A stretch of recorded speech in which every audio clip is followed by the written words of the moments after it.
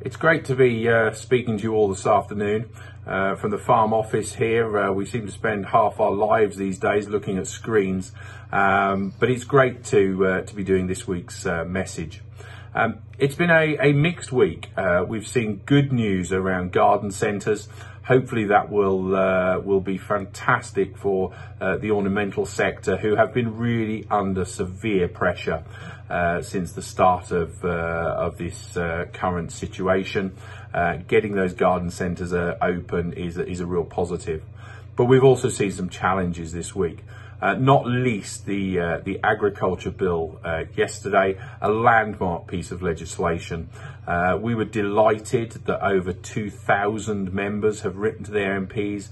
We've had lots of engagement with MPs, uh, and we've also seen the establishment of an unprecedented alliance uh, flagging up the importance of our food standards, whether they be consumer organisations, environmental organisations, animal welfare organisations. Uh, it's been great to see that, and the joint letter that Minette signed, uh, I think, was really powerful. However, we are disappointed that the Neil Parish Amendment uh, didn't get through. Uh, we will be continuing our efforts in the House of Lords uh, and again in the Commons when it comes back uh, next month. But let's also hold politicians to account.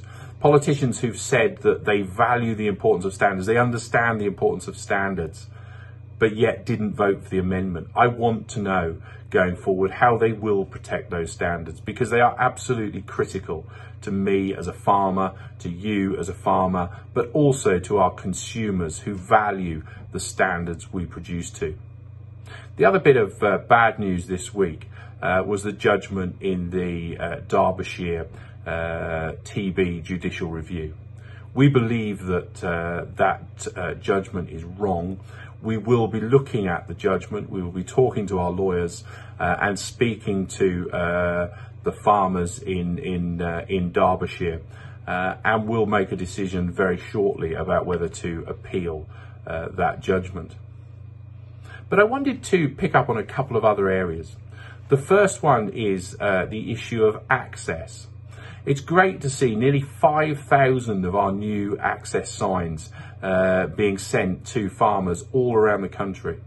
It's vital that people accessing the countryside do so responsibly. It's good for people's mental health to get out in the countryside, but they need to act responsibly. Remember, it's our workplace, it's our homes. And anyone who needs any more of those signs, please get in touch with us. And finally, I wanted to flag up some of the other work being done uh, by our teams. In particular, I wanted to flag up the work that's being done around financial assistance, whether that be CBILS, whether that be bounce back loans, whether that be the conversations we're having uh, with the banks on a very regular basis. Please get hold of the briefings off the uh, off the website. They can be really helpful in terms of helping you uh, with financial pressures at the moment. And finally, I just wanted to say a huge thank you.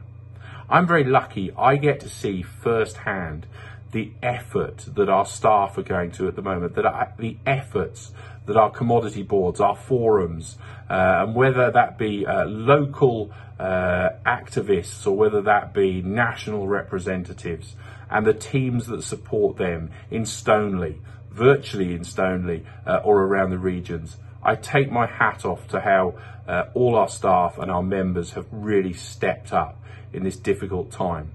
And please all remember to stay safe. And I look forward to catching up with people for real in hopefully the not too distant future.